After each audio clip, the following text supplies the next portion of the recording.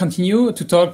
Uh, so we need mentality, we need entrepreneurs, but we need also to manage all these APIs that will be built with the, the API first mentality. And so for that, for that, we're really glad to have Shaun Shaun Clowes from the VP Product Management at MuleSoft, who will talk about the future of API management in a hybrid and multi-cloud world. Hello, Shaun. How are you? I'm very good, Mehdi. Thank you. Great to be here, and uh, it was really great to follow Tanya as well. That was a really great session. I think you know our narratives will really mesh really well. So looking forward to this. And we have you, you, to keep the level high. So perfect. I let you for 20, 20 minutes plus five minute question. Thank you. Sounds good. Thank you very much. Um, so thank you, everybody. I'm excited to be here to talk a little bit about the future of API management in what I'm sure many of you will agree is an increasingly complex and hybrid world. So most of what I'm going to be talking about over the next 15 to 20 minutes is going to be future looking. I'm going to talk about a vision for the future, which means that I have to make a disclaimer. Um, it's a typical legal disclaimer. If you're using this session to consider an investment in any MuleSoft technology, then please base any purchasing decision you might make on the product that exists today rather than anything I describe about our plans for the future. Thank you for tolerating that. And uh, with the legal stuff out of the way, let's take a quick overview of where we're headed and what I'm planning on talking about today. So first, I'd like to talk about where API management is today, how it evolved there, and how the world has changed in ways that make it harder than it's ever been to achieve the benefits of APIs at scale, just like you heard Tanya talk about. From there, I'd like to talk about some of the options for adapting and tackling these challenges head on in ways that will enable us to accelerate and continue to accelerate rather than decelerate innovation. Then I'd briefly like to walk through um, some of the uh, innovations that MuleSoft will be bringing to life over the coming year to tackle some of these challenges. And then I'll wrap up with some key takeaways and some next steps. So it's going to surprise exactly nobody uh, attending today or in this room that the proliferation of APIs has been accelerating for many years now. Now, what did surprise all of us, obviously over the past year and a half, was COVID. And what happened following COVID was an immediate pressing need for all businesses to go digital all at the same time. In fact, McKinsey estimates that uh, post COVID, 64% of all customer inter interactions are going to be digital. That's an incredible acceleration. Now, of course, this rush towards digital experiences is fundamentally powered by APIs. And so the explosion of APIs is only and can only accelerate. So the explosion of APIs is worthwhile and necessary, but it's also amplified complexity. As organizations have focused on team autonomy and team speed, we've seen an expansion in the underlying technology stacks. So some teams might prefer working with Java, deploying to Azure, and using Nginx as their API gateway. Others might prefer to use Lambda services on AWS using Amazon's API gateway. Now, fundamentally, letting teams across the world innovate and own their environments in this way has undoubtedly accelerated the outcomes we're looking for, but it's come with its own set of challenges. First, it's harder than ever before for teams to discover and leverage the APIs created by other teams to speed up their own work. There's an incredible amount of APIs being published, but how do you find them and use them and understand them? Second, the disconnected management consoles of the different platforms has made it really tedious to get visibility into everything that's going on and be sure that it's all working correctly. And finally, best practices and guidelines have ended up siloed across different teams. So it's hard to be sure that being that what's being deployed is secure and it meets the compliance requirements of your organization. Now you may be thinking that these seem like small technical challenges, but in reality they're actually big business issues. And customers aren't waiting to figure this out. How do we unlock innovation while still um, uh, being sure that we're delivering something that's safe, secure, scalable, etc. There's a fundamental underlying conundrum that unlocking uh, productivity from your IT teams requires flexibility, but that that can't come at the cost of enterprise-grade visibility across all these different services. One customer of ours I was speaking to recently has tens of thousands of developers, and they were frustrated that they could not even approximate how many APIs were deployed in production and they definitely couldn't audit how all of those APIs were protected and whether or not they were safe. So there's a big question at the root of all of this, which is how we adapt to this complex environment while still accelerating innovation. And I think that the key is really embracing diversity and flexibility in deployment options for teams while, while compensating for that autonomy by introducing consistent systems that give you visibility, management, and governance on top. So they're kind of yin and yang. Put very simply, we already have heterogeneous environments with many different APIs and API technologies. We want to maintain flexibility in the type of technologies and environments we use, yet we also want to maintain consistent security and visibility. I know that that's a lot easier said than done, so let's go one click down. The key is balancing our objectives so that each element of deployment flexibility is mirrored by a global view. So in particular, we want to maintain flexibility on the types of APIs we use and mirror that with the capability to govern them at scale. We want to pick the best cloud native gate, uh, API gateway based on our use case, yet we also want to be able to observe all of those APIs across all environments. So let me talk specifically about why each of these is so important. Along with the explosion in APIs in the enterprise, we've also seen an explosion in different API types and the underlying protocols that they use. Now, that wasn't an accident, it was very deliberate because each API type has unique advantages that make it worthwhile introducing. So, for example, GraphQL has been successful, and it's very useful to consume data from many systems in one request or to offer just one API endpoint that's usable by many different types of clients now and in the future. You heard Tanya talk about async API, which is a new important specification that's great for democratizing event-driven architectures by making them easier to understand, leverage, and reuse. So obviously, the developers in your org need the flexibility to use the technology of their choice according to the specific use case they're trying to deliver to be able to do, to be able to do it in the most innovative, direct, and uh, fast way. However, while all of these APIs are accelerators of every business, they, they are also risky. They can expose data and capabilities that are risky. They could violate compliance rules or even just not be useful across the company if they don't fit company standards. So other teams can't really understand them and use them the way they need in their architectures. So traditionally, organizations have solved these risks through things like compliance checklists that, that teams have to conduct before they ship their code into production. Or they've used API security tools to try and detect problems in what's being deployed at runtime. Now, what both of those approaches have in common is that they operate after developers have already built the, the relevant services. And that's exactly when it's the most costly to fix or detect any problems. So what we really need is for APIs to comply with company, company and regulatory standards as they're being designed. We want to shift the work left to when it's easiest to fix. This is a problem worth solving. I mean, IDC reports that compliance efforts for banks alone cost over $300 billion a year. So there's clearly money to be saved here. But I think more importantly than the money saving bit, we can unlock team innovation by helping them move faster and avoiding rework by enabling them to co-innovate and innovate on top of the company standards as they go to know what they are, to not be blindsided and surprised by them one other way we can unlock innovation is at the runtime. So while teams obviously still need API gateways in order to protect their APIs and separate API management from the business logic itself, the diversity of deployment environments in the world today and in use today means it just doesn't make sense to pick just one API gateway technology. Instead, teams are looking to choose the lightest API gateway with the features that they need that is the easiest fit for their tooling and environment. Now, that just makes sense, particularly in microservice environments where the gateway has to be right sized to avoid becoming a deployment or a COGS bottleneck. You can't have microservices protected by a, a big, fully featured enterprise gateway. That just doesn't make sense. So we need to right size the gateways and be and use heterogeneous gateways in order to match the deployment architectures we're using and that makes sense and will allow, enable us to go faster.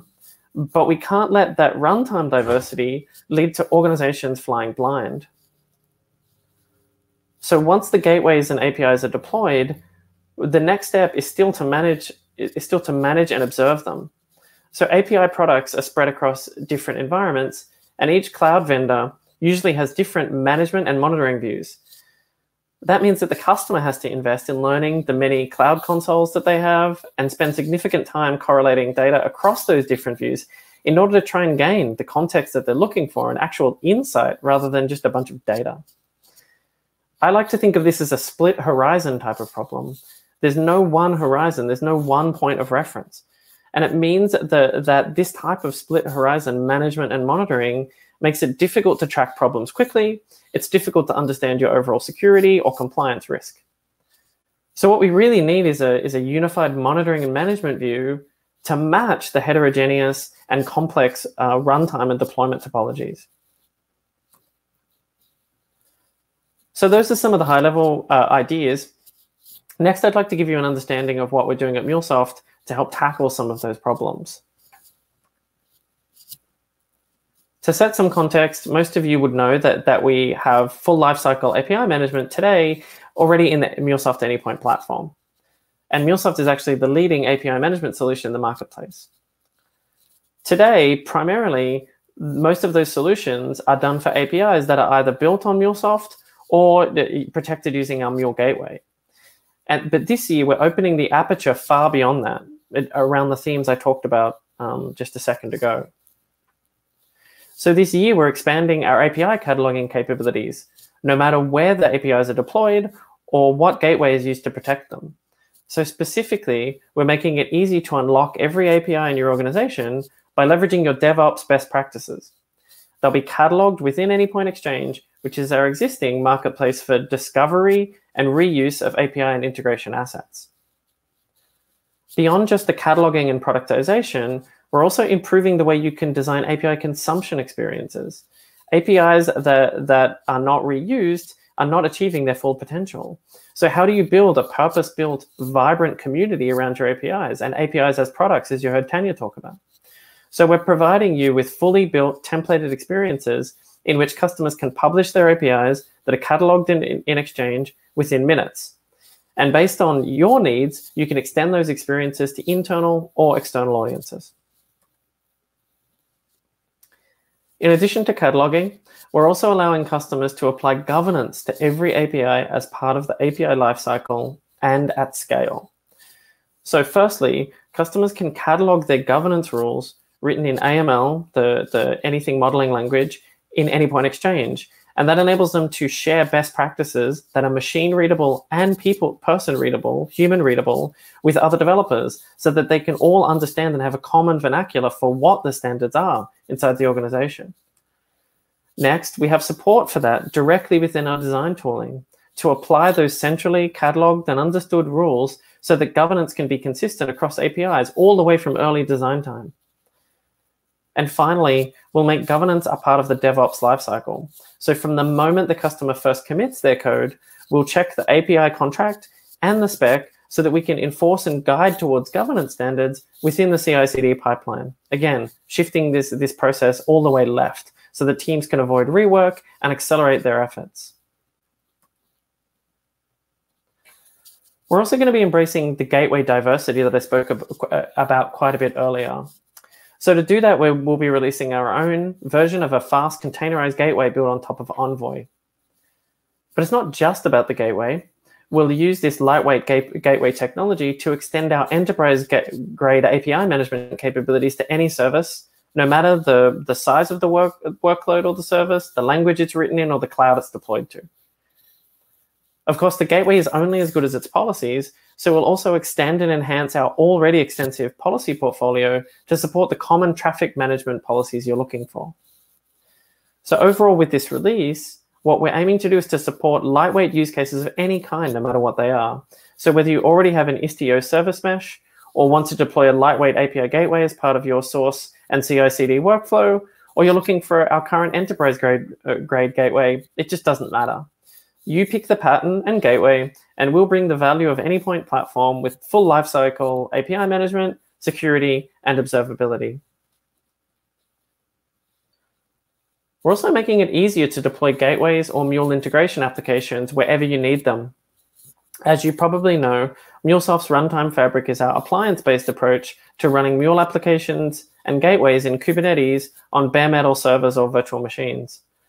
And we're excited to announce that Runtime Fabric on AKS, EKS, and GKE is now available. And that makes it easy to deploy Mule workloads into existing AKS and EKS and GKE managed Kubernetes environments on Azure, AWS, and GCP. Now, again, that's all available now to customers.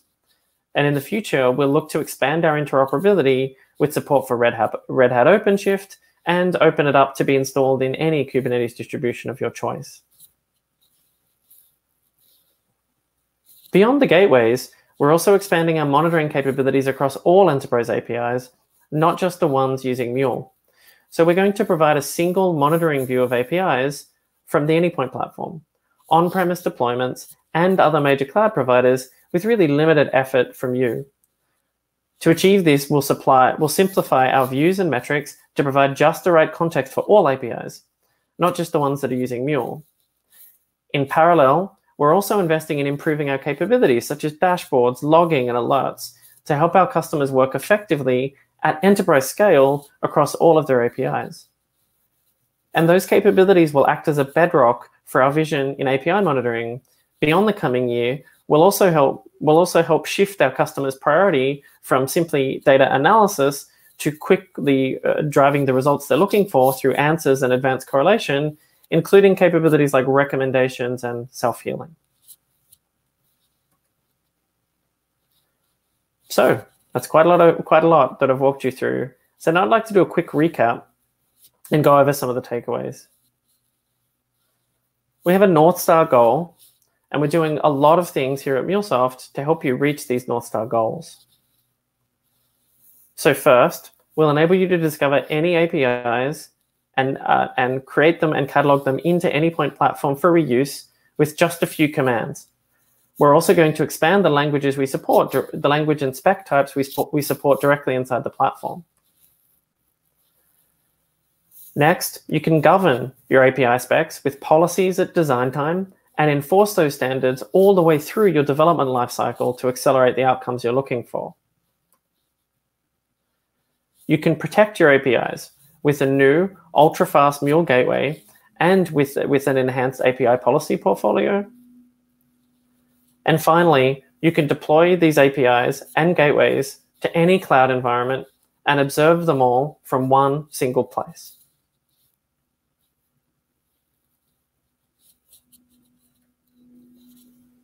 So the key takeaways from today. With the overwhelming need for digital transformation and the accompanying explosion in API types and deployment environments, teams need the flexibility to take advantage of the different technologies that fit their use cases. However, with the many thousands of APIs exploding across deployment types and uh, deployment models, architectures, and everything else, organizations struggle with reuse, visibility, and security.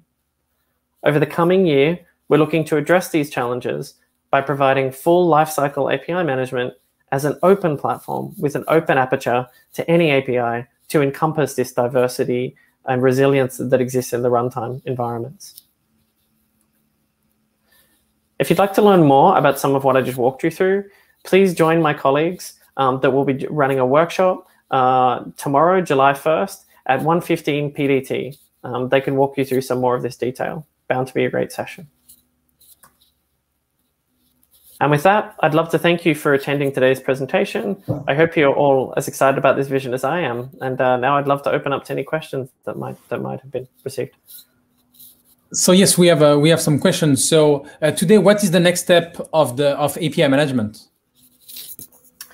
Yeah, so so so we think that um, API management uh, traditionally has been about solving um, with one with one approach to API management, usually centered around the gateway throughout the entire enterprise architecture. And we just don't think that that method works anymore. Um, instead of the the key being to choose one gateway, uh, it, the key is now to figure out how do you embrace uh, diversity of API types, API deployment models, API architectures, while still delivering observability, management, security, governance, and the capabilities you need. So you need to embrace a heterogeneous API management landscape at runtime while still delivering uh, observability and monitoring that is global and that can see across all of the infrastructure. Do you see app management and API management gathering in terms of offer in the future? That's a really good question.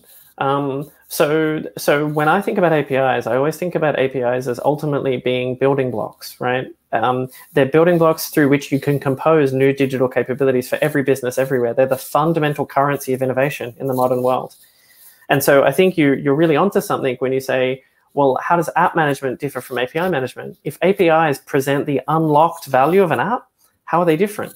They're, they're not different. Um, so I think that's very interesting to think about. And when we at MuleSoft, we talk a lot about the composable business, right? And I think the composable business is fundamentally built on top of APIs that are building blocks that represent the capabilities of apps. In my mind, they are they are the same thing. They, they are they end up being the same thing, but obviously that's a journey we're all on.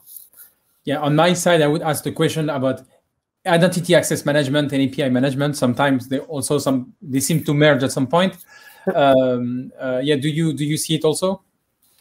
Um, it's, so it's really interesting how because APIs are like the information currency, like all everything is, is flowing through APIs, they're at the conjunction of all of these things. So I agree, like identity and access management is almost best done at the API layer. It has to be done there. It can't be done anywhere else. But you can say the same of monitoring. Like monitoring is best done at the API layer because you know what is being monitored. Like you, you have the semantics of the thing.